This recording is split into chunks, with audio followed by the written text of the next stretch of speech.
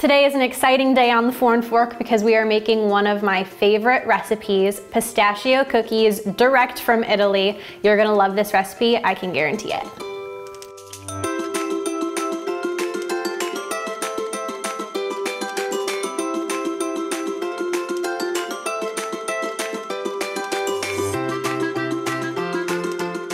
What's up everybody? Welcome back to the Foreign Fork. My name's Alexandria and this is the Foreign Fork where we are cooking one meal from every country in the world. And today we are going on a trip to Italy and having one of my favorite Italian desserts that I discovered while living in Rome. They're a pistachio cookie that's made with ground up pistachios that we turn into a flour. So it's gonna be really fun and interesting and it's only five ingredients. You're gonna love it. We're gonna get started with a big mixing bowl. And the first thing that we are going to put in here is one and three quarters cup of super fine almond flour. We're also gonna add one and three quarters cup of powdered sugar. And then this is the fun part. So to make this recipe, you're gonna need pistachio flour, which you can't find in grocery stores. So we're gonna make our own pistachio flour. So what you're gonna need is one and two thirds cup of unroasted, unsalted pistachios. Sometimes these are really difficult to find in traditional grocery stores, so I normally go to a health food store like Whole Foods or something like that, and they normally have them packaged unroasted, unsalted. And all you're gonna need to do is if you have like a little food processor or one of these little blenders, you can put the pistachios into the blender cup, put this in here, And that is your pistachio flour. Super quick, super easy, and now it's ready to go into your cookies. Here's a little tip for you. As soon as you see the pistachios turn into powder, stop grinding it after that. If you keep grinding the pistachios after they've turned into powder and then continue the blade going after that, it'll start turning into like pistachio like a peanut butter consistency. So we want it to be flour. So as soon as you see the powder, you can stop. All right, next you're gonna need the zest of one lemon. I recently got this lemon zester, which I love. It's a newfound favorite in my kitchen. But if you don't have a lemon zester, you can also use a really small setting on a cheese grater too. That will work as well.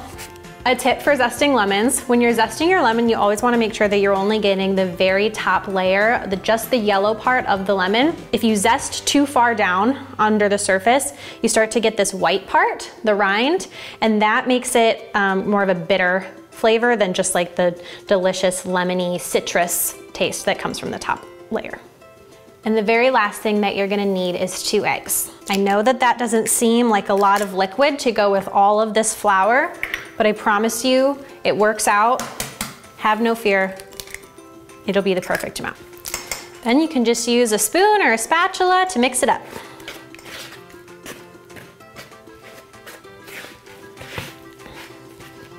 See, I told you those two teeny eggs would do the trick. So now that the dough's done, all we need to do is roll them into cookies. So you're gonna take some dough about the size of like, I don't know, I think this is the size of like a chestnut shell. So maybe something about this size, maybe like a golf ball. And roll it up a little bit. And then we're gonna have a little side dish full of powdered sugar. And you can roll this in the powdered sugar. And then the important part, these pistachio cookies are based off of the paste di mandorla, which is um, a cookie made of almond flour, pretty much is what that translates to. Um, and those cookies, whenever they're served in Roman bakeries, they have little finger indents on them. So once you take it out of the powdered sugar, kind of hold it in your palm and make some finger indents on each side. And that's how you put them on the tray. These cookies are maybe one of my favorite recipes on the blog, not only because they're delicious, which they are, they're really delicious, but mostly because of the story that's behind them and how they got to be on my blog. For a little while, I lived in Rome, and every single day I would go for walks through Rome on all the beautiful streets there, and I would always have to pass through Campo dei Fiori, which is a really popular market that takes place in Rome. And on the other side of Campo dei Fiori, there's always this really wonderful Italian bakery. And every single time I passed by, in typical Foreign Fork fashion, I would stop in and get a baked good that I had never seen before. But then there were also these really small pistachio cookies that always sat on the countertop. And so whenever I bought something, I'd always have them throw a pistachio cookie in there. And I loved them and I looked forward to them every single time I walked by. So I came home and I was missing the pistachio cookies that I had eaten while I was abroad, and I wanted them so badly, and I could not for the life of me figure out what they were called.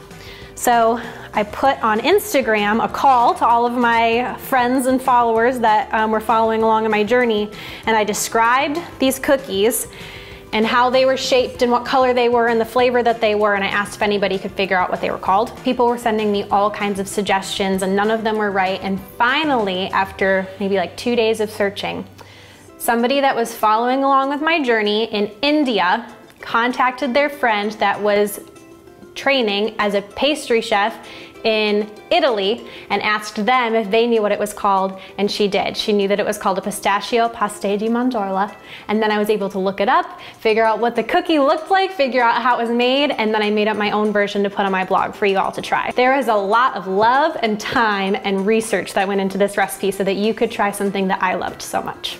This recipe should make about 21 cookies, and if you've noticed, we didn't put any baking powder or baking soda into the recipe, which means that the cookies aren't gonna change shape at all.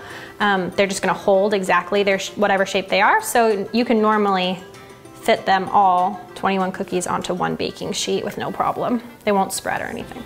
My oven is preheated to 350 degrees, so I'm gonna put this cookie sheet into the oven for about 15 minutes. They're gonna come out pretty soft, and that's exactly what we want. You want them to be kind of the texture of marzipan maybe.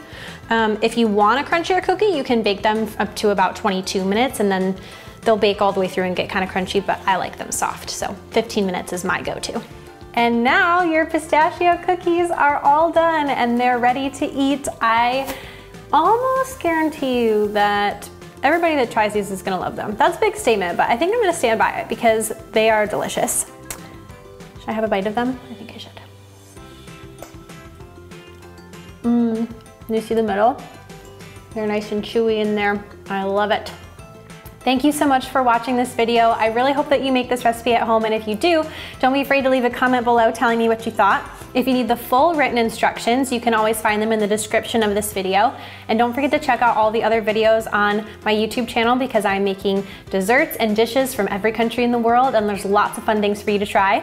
Thank you again for watching. Thanks for hanging out with me. Don't forget to put some culture in your kitchen this week, and I will see you next week.